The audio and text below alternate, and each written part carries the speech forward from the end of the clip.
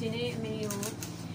conference နဲ့မြင်ခဲ့ရပါတယ်ဒီနေ့ကကြတော့အရင်ရက်အရင်ရုံချင်းလို့တယောက်စီမဟုတ်ဘူးရှင်အမေဒေါ်ဆန်းစုကြည်ရဲ့ဦးဝင်းမြင့်ရဲ့ဒေါက်တာမျိုးအောင်ရဲ့တော့စလုံးကိုတစ်ချိန်နဲ့တစ်ပြိုင်တည်းမှာသူကဟို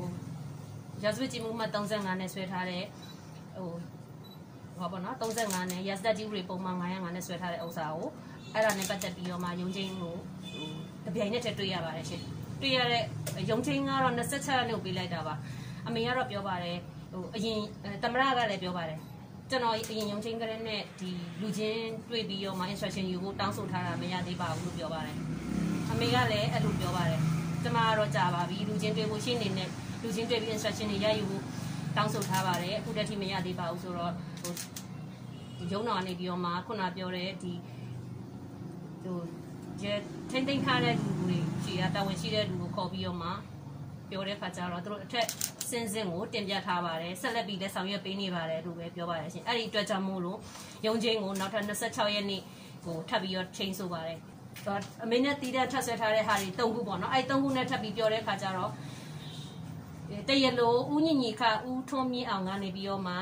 ရာဇဝတ်ကြီးမှုမှာ81မြင်းဆောင်2021နဲ့ဆွဲထုတ်ဆွဲဆိုထားတဲ့အမှုတမှုထပ်တိုးရတယ်လို့အမေကိုပြောပါတယ်။တဘာဝဘေးအနေနဲ့ပါပဲ။သူကတရလို့ပြောင်းသွားတဲ့သဘောပဲရှိပါတယ်။တဘာဝဘေးအနေဆိုင်ရာစီမံခန့်ခွဲမှုတွေပုံမှန်25နဲ့ပဲထပ်ပြီးဆွဲဆိုထားတဲ့ပုံ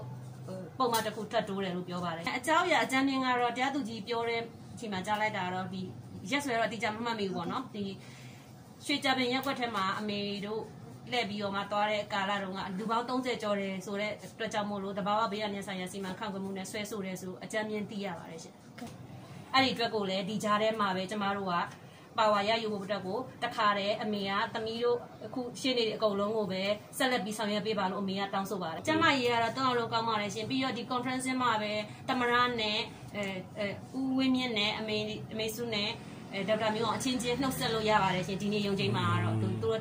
တစ်ချိန်နဲ့နဲ့တစ်ပြိုင်နဲ့နဲ့လှုပ်တာဆိုတော့ဟိုကျမကျမကြောင်အဲ့လိုမျိုးလေးနှုတ်ဆက်လို့နှုတ်ဆက်ကြပါတယ်ရှင်အကုန်လုံးကျမကြပါတယ်သုံးအောင်စလုံးပါ